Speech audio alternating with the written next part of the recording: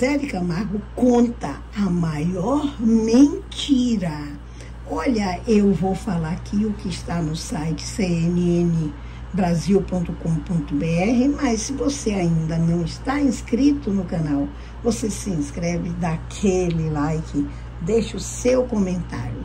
Você sabe que Zezé Camargo teve a coragem de soltar esta mentira bombástica, ele disse que o filho não foi demitido e que o filho está trabalhando ao lado de Graciele.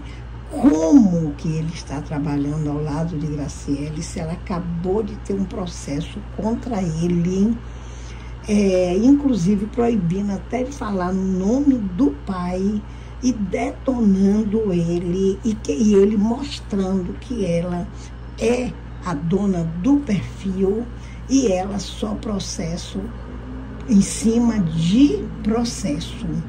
Ela, ele simplesmente disse assim, é, Zezé de Camargo rebateu a informação de que o filho Igor não estaria mais trabalhando com ele devido às recentes confusões da família envolvendo Graciele e Amable. Em uma publicação do cantor dedicada a Vanessa, um fã pediu que ele devolvesse o emprego do caçula. Devolva o emprego de seu filho Igor. Gostamos de vocês unidos, escreveu a fã. Não demorou para que o sertanejo reagisse. Está vendo como vocês falam o que não sabe? Igor não deixou de trabalhar comigo, está cuidando de tudo junto com Graciele.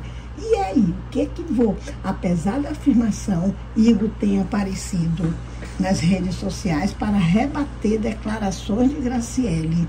E foi quem disse que não tem nenhuma aproximação com eles. E aí?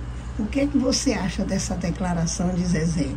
Foi chamado de mentiroso.